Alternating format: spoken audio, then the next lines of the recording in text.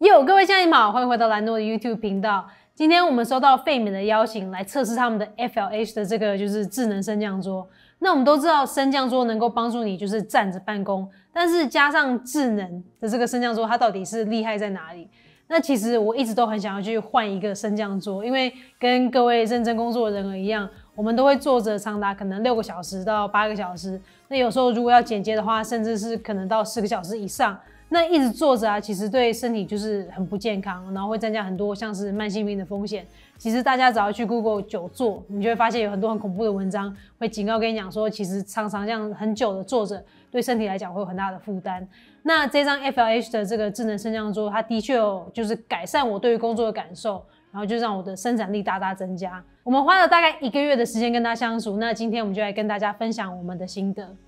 那首先，费米它其实是有提供到府安装，所以你就不用为了要组装啊，然后 DIY 去烦恼这些事情。那你可以根据你的习惯去决定，你要将你的控制面板把它装在像是左边或者是右边，像是如果是左撇子就装在左边，那右撇子就装在右边。那因为我是右撇子，所以呢，我就请师傅把面板是装在我的右边这边。那他就是会帮我做好安装，然后呢会有测试跟清理，所以师傅在离开的时候呢就不会留下一点垃圾。那基本上就是大概三十分钟之内就可以组装完毕，所以对我们来讲是很迅速的。那这一次呢，费米提供了两张桌子让我们做使用，就是这一张还有就是这一张，让我们可以去更深度的去了解他们。那在这里我们先讲一个结论好了，就是我非常满意他们的产品。那细节的部分呢，我们就在下面一一跟大家讲。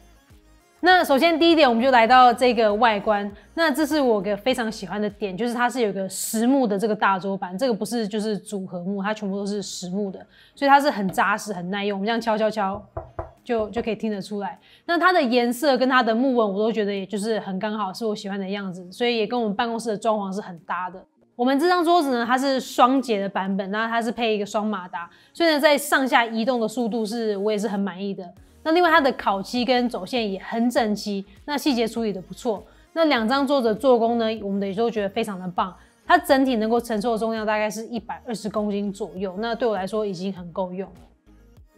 第三点，我们来到整体的稳固性，这个也是我觉得很棒的。因为之前我用过朋友的升降桌，然后它的摇晃程度就很夸张，你可能就稍微这样轻轻推一下，它就会晃很久。那如果你跟我一样是使用这种荧幕支架的话，你更是会感觉到说。要放上这个荧幕支架，整个桌子它的晃动幅度就很夸张，所以建议大家在买升降桌的时候啊，你要把这一点去考虑进去。那最好是你可以实际去使用看看，看它是不是符合你的使用习惯。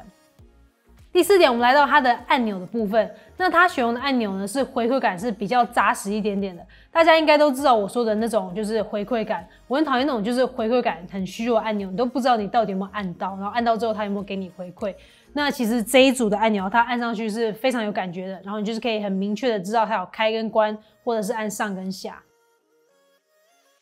第五点，我们就来到最重要的，就是它的智能的部分，那也就是它的 App。那大家会需要下载一个叫做 My Smart Pal 的 App，它就可以透过它的设定来记忆一些位置。那例如像我现在这个记忆呢，是设定成八十公分，应该讲说我在做的时候是八十公分。那我在第二个设定呢，就是一百一十一公分，这个就是我站着的时候我喜欢的这个姿势的高度。那我使用 App 来记忆这个高度呢，这个我还蛮喜欢的，因为之前呃一样是有用过别的升降桌，那你就要透过按钮来设定，那你就有很多呃要操作逻辑啊，你要去熟悉，那不如 App 像这样子那么直观。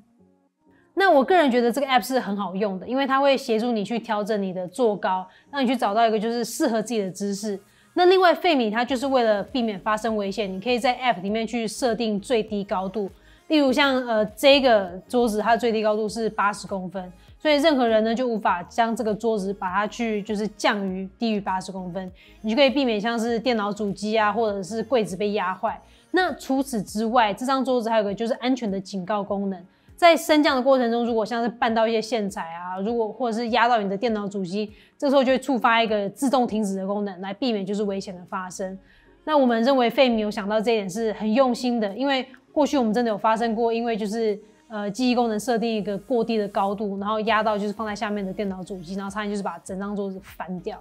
那我们还是建议大家预防胜于治疗，把自动停止当做是一个保险之外，一定要先设定你的最低高度来避免危险发生。你可以使用 Siri 来控制这张桌子的高度，也就是代表说你可以连上像是 Apple 物联网的一部分。那当然希望未来可以看到更多的应用，例如像是桌子会呃认主人，然后呢自动设定高度之类的。那我们也很期待那一天的到来。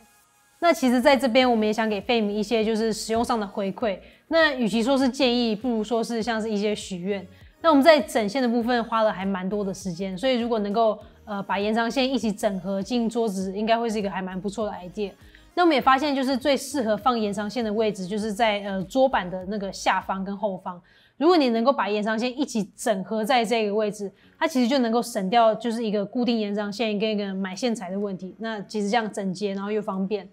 然后呢，除此之外，如果可以把 USB 的延伸也整合进来，那就真的是太棒了。呃，主机只要能够是放在地上，插一条 USB 的延长线，就可以直接在桌子的上面用呃滑鼠啊，或者是键盘啊、读卡机等等的配件。那其实光是这样想就觉得很方便。那其实这些只是我们一些就是锦上添花的 idea 跟一些许愿。这张桌子它其实本身就已经很扎实。接下来我们进入购买建议的部分。那这边有几点要提醒大家。第一点呢，也就是升降桌的整线，你会需要准备一些额外的，像是呃延长线，然后呢束带，然后还有像是走线管等等，来让你的桌子看起来是更干净，然后更整洁的。如果今天你把电脑放在桌子下面，你可能会需要买新的 HDMI 或者像是 DisplayPort，因为原本的线材可能呃就是不够长。然后就是顺带一提啊，就是很重要的一点，大家一定要确认好长度再去施工，然后呢把桌子先升到最高，然后再开始去整理线材，不然呢可能会发生像是 HDMI 线被折断的悲剧。